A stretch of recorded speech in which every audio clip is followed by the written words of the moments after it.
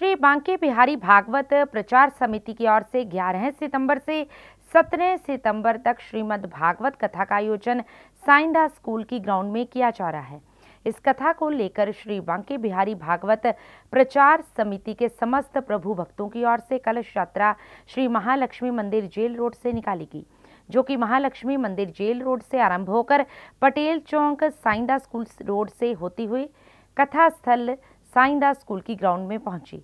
कलश यात्रा के मार्ग में संकीर्तन मंडली से मनी भैया ने श्री कृष्ण भजनों से सभी को, सभी भक्तों को मंत्र मुग्ध किया। इस कलश यात्रा में सांसद सुशील कुमार रिंकू की धर्मपत्नी, सुनीता रिंकू, पूर्व CPS K D Bhandari Yogesh Malhotra, Naval Kamboj ने विशेष रूप से शामिल होकर आशीर्वाद लिया। इस कथा संबंधी जानकारी देते हुए प्रधान सुनील नैयर उप प्रधान एडवोकेट उमेश ओहरी ने बताया कि इस कथा में कथावाचक विश्व विख्यात भागवत कथा व्यास श्रद्धेय आचार्य गौरव कृष्ण महाराज कथा करने के लिए पधार रहे हैं।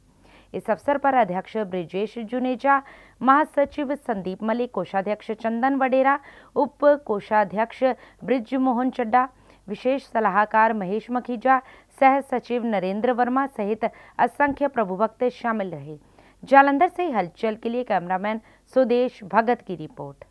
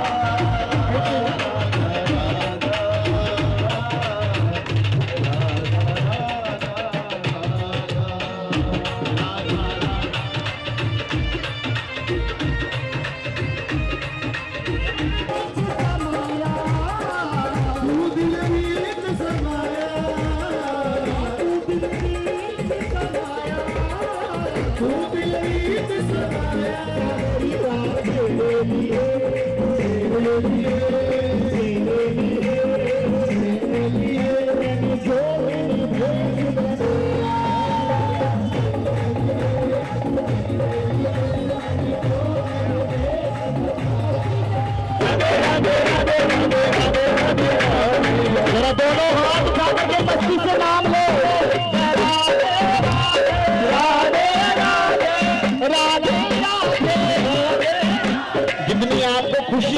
है महापुराण की जरा दोनों